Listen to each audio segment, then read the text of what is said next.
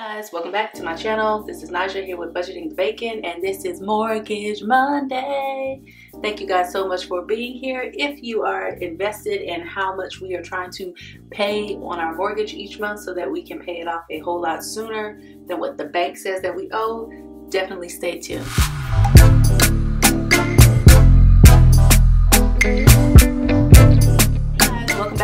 Bit Squad. Thank you guys so much for being here. And to those new members that have subbed to my channel, thank you guys so much for being here. I do hope that you find some enjoyment and you enjoy the content that you are seeing and that you decide to go ahead and stick around. So this week we're going to look at how much we were able to pay last week and this week. Now I will say the payment for this week, which is the week of October 10th through like the 14th or the 15th, um, it will come out on October 11th because on the 10th is a holiday and no banks are open. So just want to go ahead and put that out. But I am going to share what was paid on October 3rd. That is when we last left off and how much was taken out, which was the regular normal principal payment. When we last left off, it was $27,999. Then on the 3rd, we had our payment come out. So it consists of our property taxes, our homeowners insurance, and then also the principal payment. So the principal payment that came out was $741.64.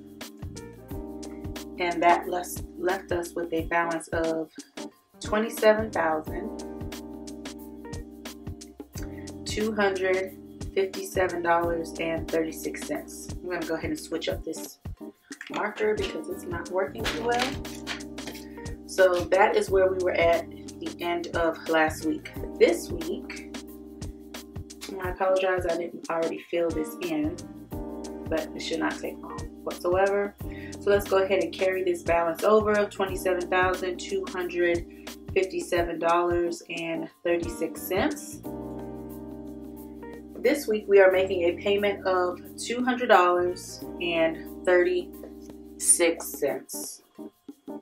This will leave our new balance of $27,057, almost up under the 26,000 dollar mark and then also I need to do a quarter three update down here as you can see I did one for first quarter second quarter need to do third quarter just showing how much extra that we paid in principal payments so let's go ahead and go over here and so quickly let me see where we're at because I didn't do this beforehand normally I try to be super prepared for my videos but you know things occur, things happen.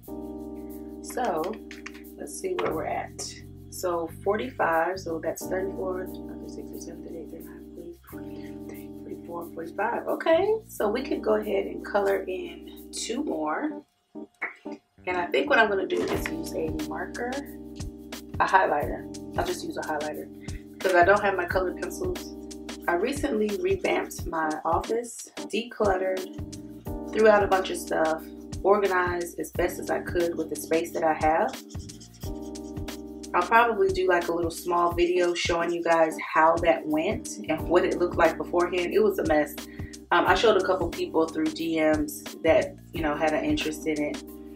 Um, and one person said I actually, it was like, do a video about it, which was Budget by the Bag. Crystal, shout out to her. If you are not following her channel, definitely go follow her channel um, and support her as well. She is a cash stuffing budgeter as well as she's also saving for her new home that she is looking to move into. Yes, look at this guys. We're almost done. Almost done. And so not going to color in anything here. Just going to hold off on this right here going to hold off on this right here and then we're going to hold off on this right here until the end of October. So yeah, that is where we are at $27,057 for this week. My goal is to get it up under $20,000 by the end of this year, December 31st, 2022. That is the goal. I don't care if it's by just a penny. I want it up under $20,000 and then we'll move forward and we will definitely be paying off this mortgage next year in 2023, which is super exciting. I'm thinking about all the money that I will now have on my check that I don't, that does not have to go to more extra mortgage principal payments. It's, it's going to be awesome. It's going to open up, open up a whole new world for us. So I'm already thinking about some videos and some content that I can do surrounding that about when the mortgage gets paid off.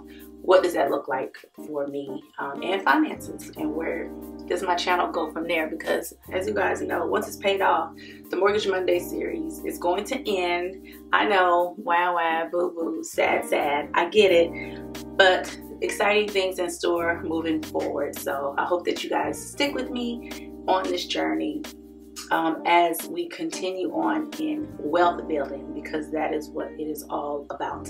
And to enjoy this video, feel free to go ahead and give it a like. If you happen to like any of the videos on my channel and you want to go ahead and continue to support my channel, feel free to go ahead and subscribe. Hit that notification bell so that you don't miss any type of upload. And until the next Mortgage Monday video, Bye guys!